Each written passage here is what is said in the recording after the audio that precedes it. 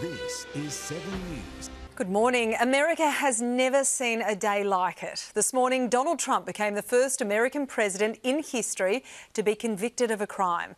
A New York jury has found him guilty of all 34 counts involving fraudulent payments to a porn star to buy her silence. Days, the 12 member jury announced it had found Trump guilty on all 34 counts.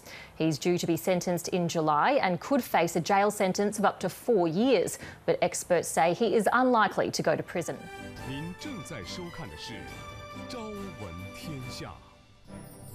当地时间五月三十号，纽约一家法院陪审团裁定，美国前总统特朗普在封口费案中有罪，被控的三十四项罪名全部成立。